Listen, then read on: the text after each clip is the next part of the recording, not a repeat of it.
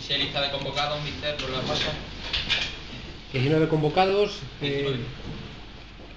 em, mm, Roberto Julio César, em, Alan León, Diacaté, em, Íñigo López, Diego Maiz, mm, Siqueira, Dani Benítez, Miquel Rico, Fran Rico, eh, Yebda, em, Abel, Moisés, em, Uche, Molo, Jara, Geijo, ¿me queda alguien? 18, 19, creo que va 19. Pues luego preguntáis quién se queda fuera. Sí, es fácil. Sí, más fácil, pues se queda. ¿Cómo se encuentra ayer?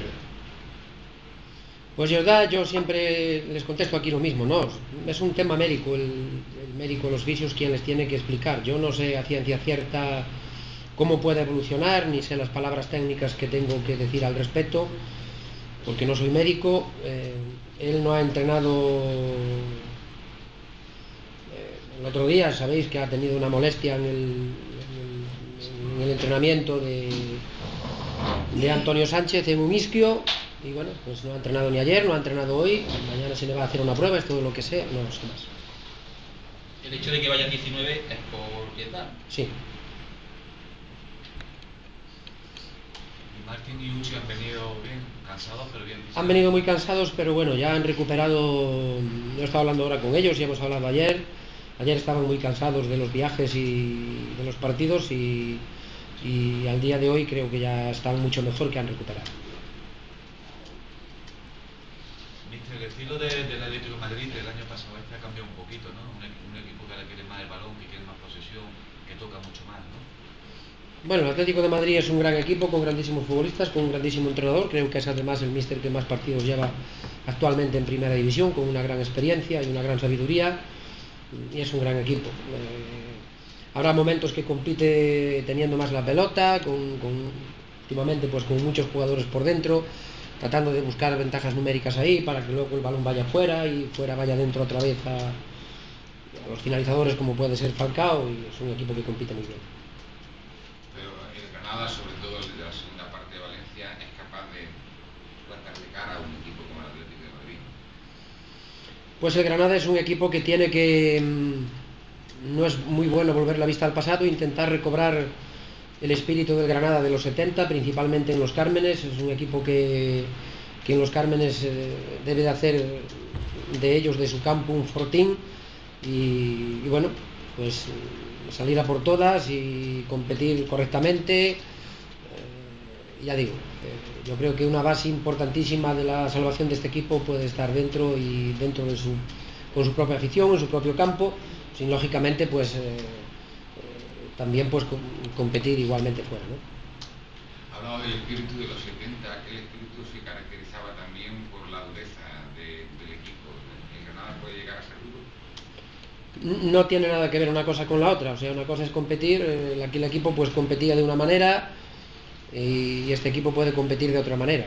El otro día creo que estadísticamente en, Mestalla ha hecho las faltas en todo el partido y ha sabido competir. O sea que una cosa creo que no está ligada a la otra. Eh, mister, ¿a qué tanto por ciento está el Granada Club de Fútbol? Ya ha pasado ese periodo de cinco semanas que pidió al poco de iniciarse la liga.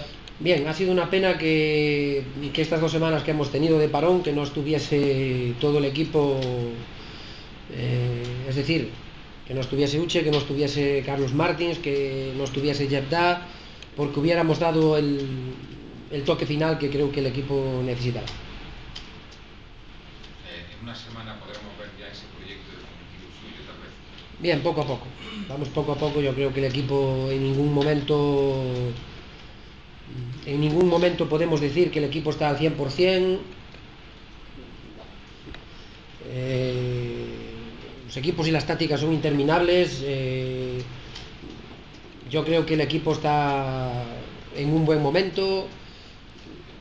Ha competido correctamente con, con Villarreal, ha competido correctamente en San Sebastián, ha competido correctamente en Mestalla, menos esa bisoñez a lo mejor de los 15 o 20 o 12 primeros minutos y tratamos de hacer lo mejor posible y lo que necesitamos ahora es un triunfo para que los estados de ánimo pues eh, crezcan y, y, a nivel psicológico estemos más alimentados. Ha hablado de la bisonía de esos minutos iniciales de Granada con el fútbol. ¿Cómo se trabaja eso para solucionarlo? Bien, no es cómo se trabaja ni cómo se deja de trabajar. Yo creo que es una cuestión natural, ¿no? O sea, creo que es una cuestión natural que es un equipo recién llegado a la categoría y, bueno, pues eh, vas a jugar a un campo con un gran equipo, con un equipo Champions y a lo mejor pues sales sencillamente un poco encogido. O sea, parece que yo digo una palabra y ya vais buscando, eh, claro, o sea, como si yo os diera el pie a, lo que, a lo que digo. Muchas veces es mucho mejor estarse callado, se mete uno en muchos menos charcos, ¿no? Porque... Eh, ha dicho Franco Jara esta semana que más o menos que, que que, reconoce que no lo hizo bien, que igual le viene bien el no ir convocado en Vizcaya cuando, cuando usted no lo citó. ¿Cómo lo ha visto de, de, moral? ¿Cómo lo ha visto del juego? ¿Cree que se ha recuperado? ¿Que le ha servido esa no citación? Eh, primero, nunca ha habido ningún problema con Franco Jara por, por mi parte ni por parte de él, porque todos somos humanos y todos tenemos derechos en, derechos, derecho en momentos de la vida pues a hacer una cosa más o menos aceptada y, ya digo que no hay ningún problema ni ha habido en ese sentido. Franco es un jugador que pues que ha llegado también sin hacer a lo mejor una pretemporada adecuada y llega un fútbol nuevo y llega a un equipo nuevo, ¿no? Donde se necesita pues eh, conseguir una cohesión y una serie de cosas y él pues ha pasado por un momento a lo mejor de aturdimiento en el sentido táctico, ¿no? O sea, yo qué tengo que hacer, qué puedo hacer, qué no tengo que hacer, pero yo creo que es una cuestión totalmente natural, ¿eh? Eso, ¿no?